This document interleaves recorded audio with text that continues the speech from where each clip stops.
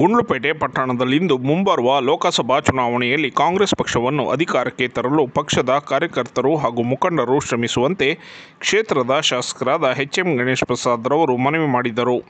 ಪಟ್ಟಣದ ಕಾಂಗ್ರೆಸ್ ಕಚೇರಿಯಲ್ಲಿ ನಡೆದ ಪಕ್ಷದ ಕಾರ್ಯಕರ್ತರ ಹಾಗೂ ಮುಖಂಡರ ಸಭೆಯಲ್ಲಿ ಭಾಗವಹಿಸಿ ಮಾತನಾಡಿದ ಅವರು, ಕಳೆದ ವಿಧಾನಸಭಾ ಚುನಾವಣೆಯಲ್ಲಿ ಯಾವ ರೀತಿ ಒಗ್ಗೂಡಿ ಕೆಲಸ ಮಾಡಿದ ರೀತಿಯಲ್ಲಿ ಯಾವುದೇ ಭಿನ್ನಾಭಿಪ್ರಾಯಗಳಿಗೆ ಅವಕಾಶ ನೀಡದೆ ಪ್ರತಿಯೊಬ್ಬರೂ ತಮ್ಮ ತಮ್ಮ ಕ್ಷೇತ್ರ ವ್ಯಾಪ್ತಿಯಲ್ಲಿ ಕಾಂಗ್ರೆಸ್ ಪಕ್ಷದ ಪರವಾಗಿ ಪ್ರಚಾರ ಕಾರ್ಯ ಮಾಡುವಂತೆ ಸೂಚಿಸಿದರು.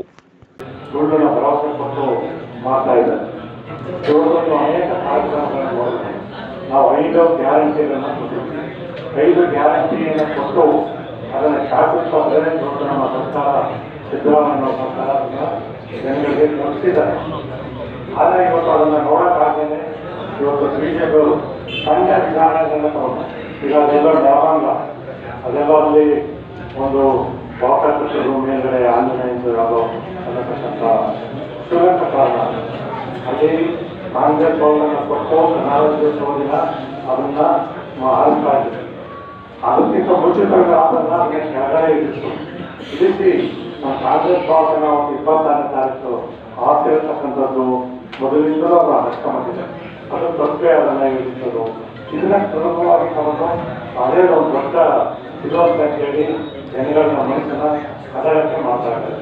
ಈಗ ಅದಕ್ಕೆ ನಮ್ಮ ಕಾರ್ಯಕರ್ತರು ಇವತ್ತೇನೋ ಐದು ಗ್ಯಾರಂಟಿಯನ್ನು ಕೊಟ್ಟಿದ್ವಿ ನಾವೇನು ವಿಧಾನಸಭೆಯಲ್ಲಿ ಸುಮಾರು ನಲವತ್ತೈವತ್ತು ಸಾವಿರ ಓಟ್ನಿಂದ ನಾವು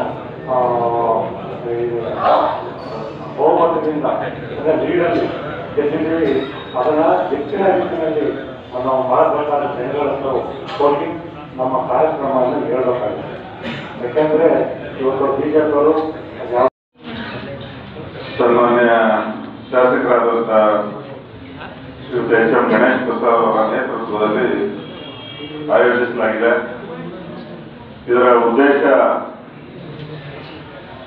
ಬರುವ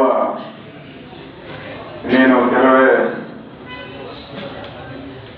ಏಪ್ರಿಲ್ನಲ್ಲಿ ಅಥವಾ ಮೇ ತಿಂಗಳಲ್ಲಿ ನಡೆಸತಕ್ಕಂಥ ಲೋಕಸಭಾ ಚುನಾವಣೆ ಮತ್ತು ಕಾಂಗ್ರೆಸ್ ಪಕ್ಷ ನೂರ ಮೂವತ್ತೊಂಬತ್ತನೇ ವರ್ಷದ ಸ್ಥಾಪನೆ ಆದಮೇಲೆ ನೂರ ಮೂವತ್ತೊಂಬತ್ತು ವರ್ಷಗಳು ಆಗಿದೆ. ಅದರ ಉದ್ದೇಶದಿಂದ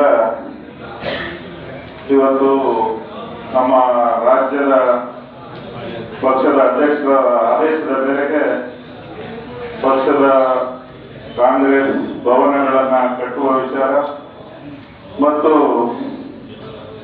ಒಂದು ಬ್ಲಾಕ್ ಕಾಂಗ್ರೆಸ್ ವತಿಯಿಂದ ನೂರ ಮೂವತ್ತೊಂಬತ್ತು ಸಾವಿರ ರೂಪಾಯಿಗಳನ್ನ ಕೇಂದ್ರ ಕಚೇರಿಗೆ ಕಳಿಸ್ಕೊಡುವಂತ ವಿಚಾರವನ್ನ ಇವತ್ತು ಪ್ರಸ್ತಾಪ ಮಾಡಲಿಕ್ಕೆ ಇವತ್ತು ಈ ಸಭೆನ ಇಲ್ಲಿ ಸೇರಿಸಿದ್ದಾರೆ. ಜೊತೆಗೆ ಇನ್ನಿತರ ನಮ್ಮ ಮುಖಂಡರು, ಕಾರ್ಯಕರ್ತರ ಏನಾದರೂ ಕುಂದುಕೊರತೆಗಳು, ಸಮಸ್ಯೆಗಳು ಇದ್ದಂತ ಸಂದರ್ಭದಲ್ಲಿ ಅದನ್ನು ಕೂಡ ವಿನಿಮಯ ಮಾಡಿಕೊಳ್ಳೋಕ್ಕೋಸ್ಕರ ಈ ಕಾರ್ಯಕ್ರಮ ಇವತ್ತು ನಡೀತಾ ಇದೆ. ಈ ಕಾರ್ಯಕ್ರಮದಲ್ಲಿ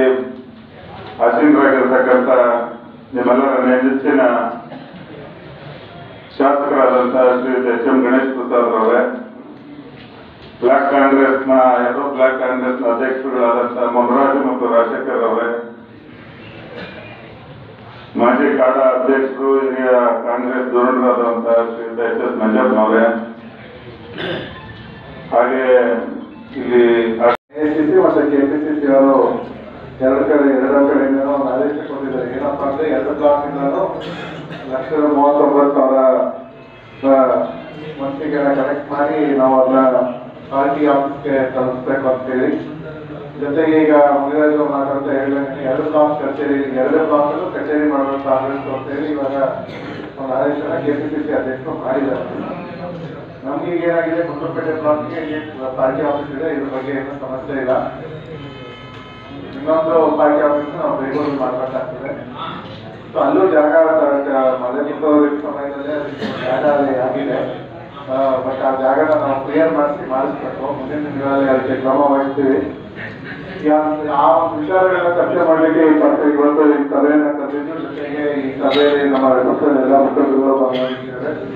ಜೊತೆಗೆ ಯುವಕ ಮಿತ್ರರು, ಮಹಿಳೆ ಕಾಂಗ್ರೆಸ್ನಿಂದ ಹಾಗೂ ಅತ್ಯುತ್ತಮ ಇವರಿಂದ ಇವತ್ತು ನಾವು ಒಂದು ವಿಶೇಷವಾದ ಸರ್ಕಾರ ಆಗಿದೆ ಯಾಕಂದ್ರೆ ಗ್ಯಾರಂಟಿಗಳನ್ನ ಮಾನ್ಯ ಮುಖ್ಯಮಂತ್ರಿಗಳು ಮತ್ತೆ ಉಪಮುಖ್ಯಮಂತ್ರಿಗಳು ಚುನಾವಣೆ ಮುಂಚೆನೆ ಘೋಷಣೆ ಮಾಡಿದ್ರು, ಅದನ್ನ ಇವತ್ತು ಅನುಷ್ಠಾನಕ್ಕೆ ಇವತ್ತು ನಮ್ಮ ಗುಂಡುಪೇಟೆಯಲ್ಲಿ ನಾನು ನೋಡಿದಂಗೆ ಸುಮಾರು ತೊಂಬತ್ತೊಂಬತ್ತು ಭಾಗ ಈ ಗೃಹಲಕ್ಷ್ಮಿ ಯೋಜನೆ ಅನುಷ್ಠಾನಗೊಂಡಿದೆ. ಕೆಲವು ಕಡೆ ಸಮಸ್ಯೆಗಳಂತೂ ಇದ್ದೇ ಇದೆ. ಯಾಕಂದ್ರೆ ನಾವು ನೋಡ್ತಿದ್ದೀವಿ, ನಾನು ಗ್ರಾಮಗಳಲ್ಲಿ ಭೇಟಿ ಕೊಟ್ಟಾಗ ನಮ್ಗೆ ದುಡ್ಡು ಬರ್ತಿಲ್ಲ, ಅದು ರಿಜಿಸ್ಟರ್ ಆಗಿಲ್ಲ ಅಂತ ಬರ್ತಾ ಇದೆ ಅಂತ ಹೇಳಿ ಸುಮಾರು ಚರ್ಚೆಗಳು ನಡೀತದೆ. ಆದರೆ ಅದಕ್ಕೆ ಏನೋ ಒಂದು ಈಗ ಒಂದು ಸಮಸ್ಯೆ. N S U N C N P C register ಆಗಿದ್ದರೆ ಅದು ದುಡ್ಡು ಜಮಾ ಆಗ್ತಿಲ್ಲ. ಸರ್ಕಾರದಿಂದ ಬರೋಂಥ ದುಡ್ಡು. ಸೊ ಅದು ನಾವು ಸ್ವಲ್ಪ ಹುಷಾರಾಗಿ ಆಯ್ಕೆ ಮಾಡಿದ್ರೆ ಅದನ್ನ ತಿಳ್ಕೊಬೇಕಾಗಿದೆ. ನಾವು ಸಿ ಡಿ ಪಿ ಅವರ ಕಚೇರಿಯಲ್ಲಿ ಈಗ ಪ್ರತಿದಿನ, ಪ್ರತಿನಿತ್ಯ ಅದನ್ನ ನಾನು ಮಾಹಿತಿ ತಗೋತಾನೆ ಇದ್ದೀನಿ. ಯಾವುದೇ ಭಾಗದಲ್ಲಿ ಸಾಕಷ್ಟು ಸಮಸ್ಯೆ ಆಗಿದೆ. ಇನ್ನೂರು ಜನಕ್ಕೂ ಅಧಿಕ ಮಹಿಳೆಯರಿಗೆ ಆ ದುಡ್ಡು ಬರ್ತಿಲ್ಲ. ಆದ್ರೆ ಕೆಲವು ಕಡೆ ಹಂಡ್ರೆಡ್ ಪರ್ಸೆಂಟ್ ಬರ್ತಿದೆ ಕೆಲವು ಕಡೆ ಬರ್ತಿಲ್ಲ. ಸೊ ಆ ಒಂದು ಸಮಸ್ಯೆನ ನಾವು ತಕ್ಷಣದಲ್ಲಿ ಪರಿಹಾರ ಮಾಡಕ್ಕೆ ಕ್ರಮ ಕೈಗೊಳ್ಳಬೇಕು ಅಂತ ಈಗಾಗಲೇ ಮನೆ ಸಚಿವರ ಬಗ್ಗೆ ಗಮನಕ್ಕೆ ತಂದಿದ್ದೀವಿ ಅವರು ಕೂಡ ಮಾಡಿದ್ರು ಮಾಡಿದ್ದಾರೆ ಈಗ. ಒಂದರಲ್ಲಿ ಕೆ ವಿ ಸಿ ಮಾಡಿಸಿ M P S I register ಆಗಬೇಕು. K Y C K Y C ಆಮೇಲೆ ಇನ್ನೊಂದು, ಈ ರೇಷನ್ ಕಾರ್ಡ್ ಸಮಸ್ಯೆ ತುಂಬಾ ಇದೆ.